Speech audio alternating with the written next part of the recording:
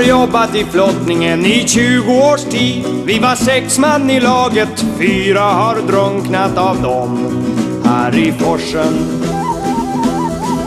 När stocken blir slipprig då halkar man lätt och bröten är farlig, hon rör sig och kränger här i forsen. Det kräver sin man att styra en båt att känna ditt jobb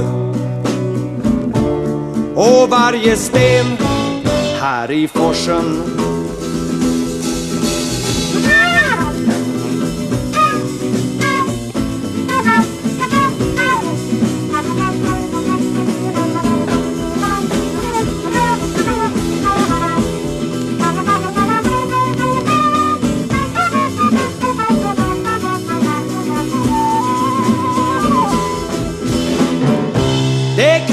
Sin man att styra en båt. Du ska känna ditt jobb och varje sten här i forsen.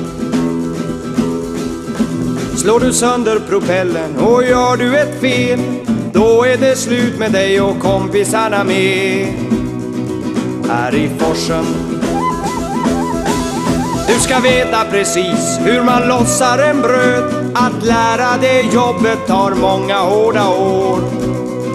Här i forsen Vi flottare vet Att det värde vi har Är vår erfarenhet Och risken vi tar.